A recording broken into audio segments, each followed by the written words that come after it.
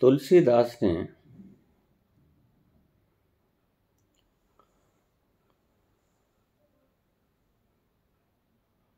हनुमानाष्टक में एक शब्द लिखा है,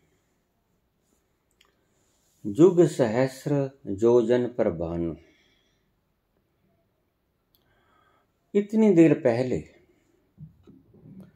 तुलसीदास ने सूर्य की दूरी की एक्यूरेसी जान ली। आप कहते हैं वो एनलाइटेंड नहीं थे। कृपया स्पष्ट कीजिए। बिल्कुल, वो एनलाइटेंड नहीं थे।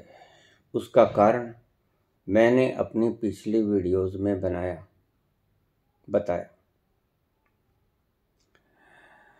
जुग सहस्र योजन पर भानु भानु कहते हैं सूर्य को। युग होता है बारह हज़ार दिव्य वर्षों का। बारह हज़ार सहस्र मल्टीप्लाई बाय वन थाउज़ेंड बारह हज़ार इंटू वन थाउज़ेंड युग सहस्र योजन योजन होता है आठ माइल्स का, यानी बारह पॉइंट आठ किलोमीटर का। युग बारह हज़ार, दिव्य वर्ष। सहस्र गुणा हज़ार। योजन आठ मील, बराबर है बारह पॉइंट आठ किलोमीटर। युग सहस्र योजन पर भानु, यानी कि सूर्य की दूरी इतनी है। जहाँ जाकर हनुमान जी ने सूर्य को निगल लिया था।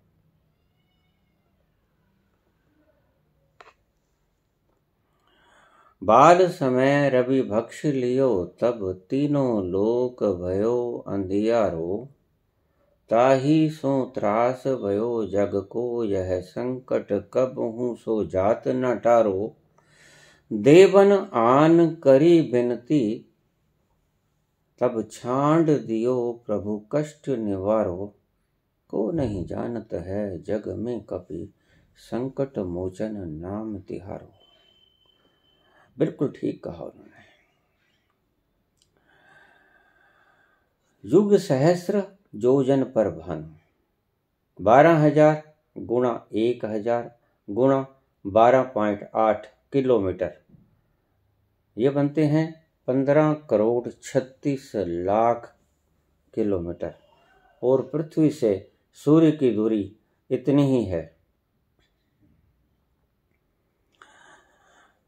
बिल्कुल एक्यूरेसी। पंद्रह करोड़ छत्तीस लाख किलोमीटर दूर सूर्य पृथ्वी से है। अप्रोक्सीमेटली लेकिन किसी का वैज्ञानिक आंकड़ों को बता देने का मतलब ये नहीं होता कि वह एनलाइटेंड है। वह स्वयं को भी जान गया। ये बात नहीं। फिर तो इस सूची में अनेकों साइंटिस्ट गिने जाएँगे, Albert Einstein, Rutherford Newton, Archimedes Stephen Hawkins Michael Faraday ये सभी जानते हैं कि पृथ्वी की सूरज से दूरी कितनी है। हाँ ये बात अचंभे वाली ज़रूर है कि 1532 में तुलसीदास जन्मे। तब लिख रहे हैं यह शब्द।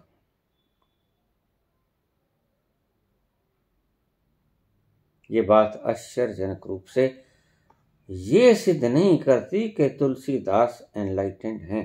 ये सिद्ध करती है कि हमारी सभ्यता ने इतना विकास कर लिया था साइंटिफिकली वैज्ञानिक रूप से कि सूरज की दूरी की एक्यूरेसी इतनी ज़बरदस्त ढंग से माप ली गई। कि जो आज के वैज्ञानिक सूर्य की दूरी को बिल्कुल ही इतने बताते हैं। पंद्रह करोड़ छत्तीस लाख किलोमीटर। निश्चित ही, लेकिन किसी व्यक्ति को किसी प्रकार की व्याख्याओं का पता होना, ये नॉलेज नहीं है। यह सिर्फ़ जानना है।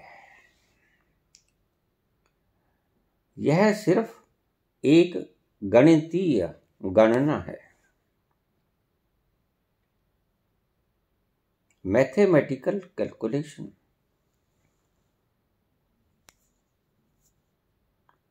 सिर्फ़ मात्र ये जानने से ही अगर तुलसीदास को आप एनलाइटेंड कहोगे तो फिर आपको स्टीफन हॉकिंस को भी पीछे नहीं छोड़ना। एल्बर्ट आइंस्टीन कहाँ जाएँगे?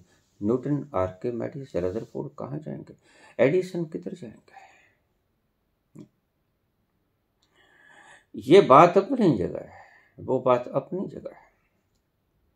सूर्य की दूरी तो आज फिजिक्स फिजिक्स का प्रत्येक विद्यार्थी जानता है कि पृथ्वी से कितने दूर है। तो इनको एनलाइटेंड मान लिया जाए। नहीं, ऐसी खिचड़ी मत पकाया करो। ऐसे ही तो तुमने गलत संगठन खड़े किए। दूरी है, बिल्कुल ठीक दूरी है, लेकिन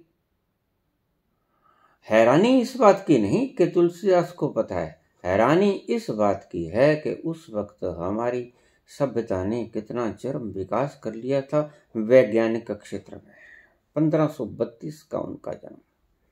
सोलहवीं शताब्दी में तुलसीदास ने बता दिया। लेकिन तुलसीदास ने नहीं बताया। वहाँ के, तब के वैज्ञानिकों ने यह मापदंड दिया था। सो इसी आधार के ऊपर सिर्फ़ कैलकुलेट करना और तुलसीदास को एक बुद्ध पुरुष घोषित करना बुद्धों के साथ अन्याय होगा। बुद्धत्व की परिभाषा का गलत व्याख्यान है। ये सिर्फ़ आपकी जानकारियाँ हैं इंफॉर्मेशंस और नॉट नॉलेज धन्यवाद।